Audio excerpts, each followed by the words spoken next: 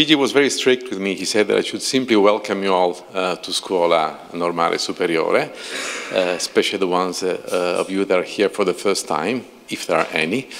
Um, he wanted me to tell you also something about uh, the institution and uh, the location you're in, so I'll do that in about uh, 42 seconds, not more, don't worry, and there will be no condensed matter involved, I promise.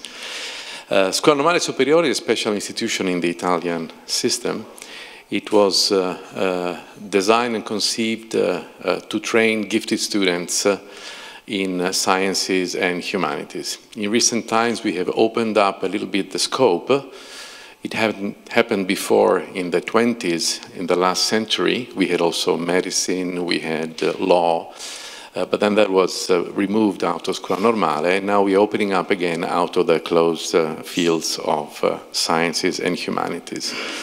Um, our ambition is that of uh, creating a special environment for these students where they can, first of all, interact with each other and learn from one another and also have the opportunity to talk to people like you uh, that come here to discuss their research interests and activities so that they can learn about the forefront of different uh, research fields like the one we are talking here.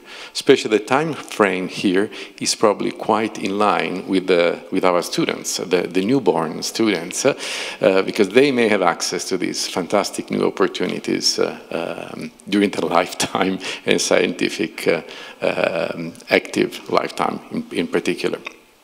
This building is uh, um, a building that was always uh, involved with training of youngsters. Initially training them to war, because uh, uh that's where the Knights of St. Stephen were, were trained in here to fight uh, uh, the wars in the Mediterranean.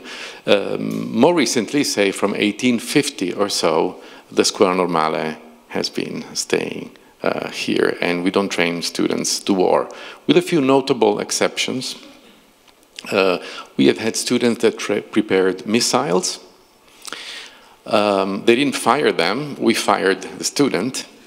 Uh, more recently, we had uh, um, other students uh, that were very active, at least verbally, uh, on the international arena and some of you may have uh, read about it. The guy was not a terrorist, don't worry, he was just confused, very confused, but he stayed here just about a month and then was packed and shipped uh, back from its origin point. So at this point in time, you are safe. And uh, I hope uh, uh, you will carry out your activity here in a relaxed uh, environment. If you see any missiles or bombs or things, please let uh, Gigi know. He knows, uh, he has been trained uh, to take care of all that. More seriously, I hope that uh, your today's here will be fruitful and we are available in, in all way in all ways we can uh, to support your activity here. Your line of research is one of the core business businesses of Scuola Normale uh, Superiore, and I hope uh, you'll bring back good memories from your stay here. So thank you for thank you for being here with us. Thanks a lot, Fabio.